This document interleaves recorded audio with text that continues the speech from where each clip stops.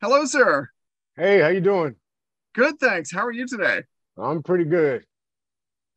You know, this series, it was amazing. It, it, it was one of the most powerful journeys.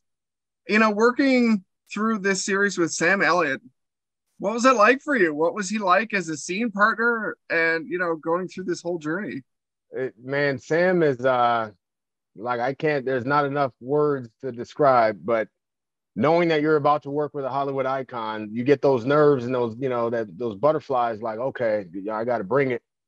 And when I first met him, it was on the gun range during cowboy camp, and he came over and embraced me. And all the nerves that I had going into it, like I were left right there on the grass in that field.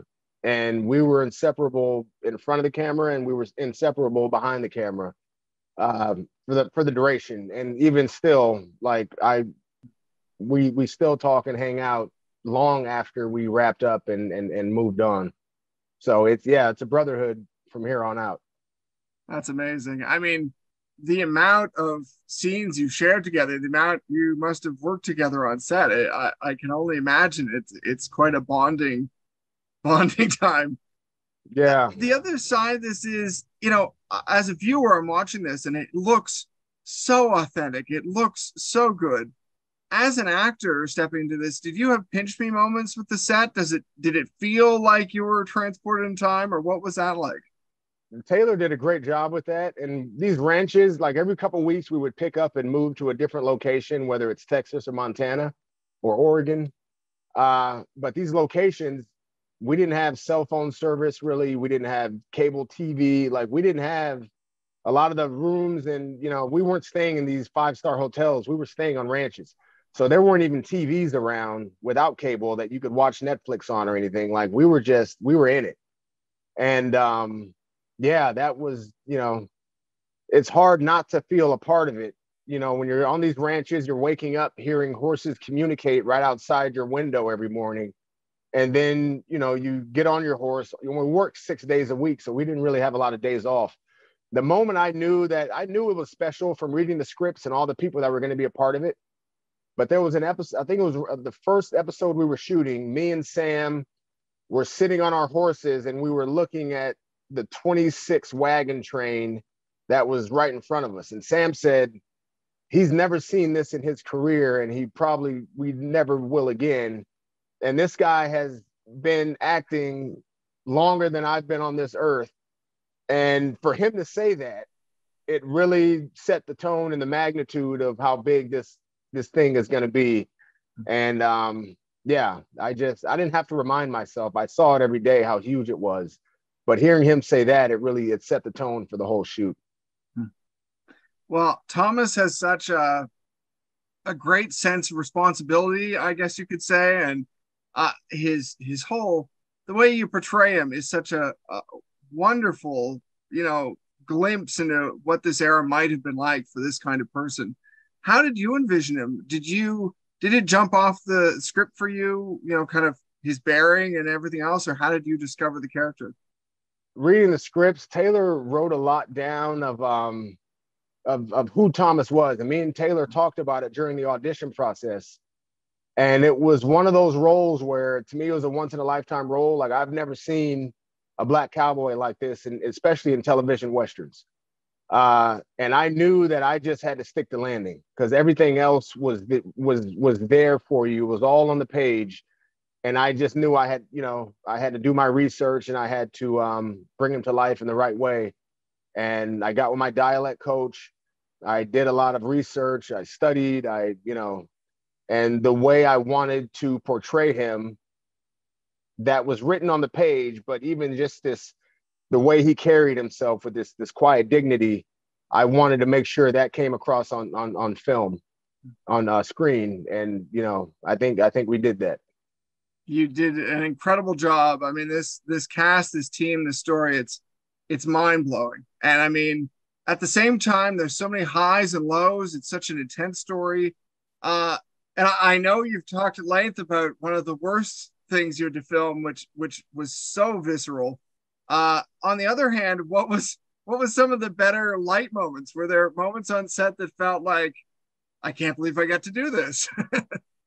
I think just uh, when you're riding around as a kid, you you know you think about one day I'm gonna be in a western. You know, you you cops and robbers, you know, bandits and whatever, riding on horses, like the reins in one hand, the gun in the other hand, and you're chasing bandits. You know, those no good bandits that that rob the wagon train. We're going to get them and you're physically as fast as the horse can ride. It's exhilarating because you just learned how to ride a horse months ago, and you're getting after it and you're shooting like it was that, you know, it doesn't get any more special than that. Like you're a big kid and getting to do those kind of scenes were um it was special. I mean, there's so much action right from the beginning. Did you do a lot of your own action or at least some of it or how did that work? I did a good chunk. In the beginning, I I was still trying to get comfortable with with horseback riding. And my double, Aura, Aura Brown, he's a great cowboy from uh from from Oklahoma. He did a good chunk. And then as time went on, I was much more comfortable. So when we really got into the meat of some of these big action scenes from the middle moving on, I was doing most of that. Mm. But still, if it was something that was too much, or uh, you know, I'll call, I'll hit him up like, hey man, this this has got your name written all over it. Like I wasn't afraid to, to have him jump on this horse, but I, I did a good chunk. Well, in the end, he makes you look good because the audience doesn't know. We're watching this going, oh man, he's amazing. yeah, no, Aura, like I said, anytime I got to do some stuff with horses, Aura's my guy. He's he's he's a hell of a cowboy. Well, the other side of this is that in the end, I mean, I don't want to spoil anything for the people who haven't watched it yet, but like Thomas has an awesome ending in this story. Like his story is is very uplifting. Uh, what's it like being part of one of the the happy endings in the story? I didn't see that coming. Especially like I'm reading the scripts, and my manager and my agent had the scripts. They were a couple of scripts ahead of me while we were reading it. We're all reading it together, and they would call me crying after reading each one, like, "Oh my!" I'm like, "How'd I get it? how'd I die? You know, like I'm just I'm just sitting around waiting for the other shoe to drop when I'm reading these scripts. And I'm like, wait a minute, Thomas. So he he gets the girl.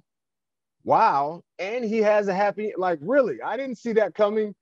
And it's refreshing because I've been a part of a handful of shows where I'm it's not how I die, it's when, you know. So it's uh it was nice to have the happy ending once. You know, hopefully that continues, but you know, we'll we'll see. Well, the last thing I'm going to ask you, I don't know if you can answer this, but are we going to see Thomas again? Uh, not that I know of at, at this point. Uh, hopefully, that's a missed opportunity. That has to change. Yeah, hopefully, you know, we get some uh, like Paramount Plus get some hashtags. T- Thomas Noemi, we need to see their story. Uh, prequels, something I don't know, but I if if Paramount Plus called me up for that, I'd be all on board well, it is very cool to hear that there's going to be, you know, two kind of sequels, if you want to call them sequels to to this. So maybe, hopefully, we'll cross our fingers and something will happen then. Yeah, maybe you know the world exists where Thomas shows up on 1883 Bass Reeves and hey Bass, I'm sure they've crossed paths at some point in the 1800s. It wouldn't be too far fetched. So a little you know, cameo at least, right? So yeah, something. Just a little ride by, tip of the hat, and keep going. I don't know, something. That would be cool. Fantastic. Well, thank you so much for the time. It really was a pleasure chatting. Thanks for having me.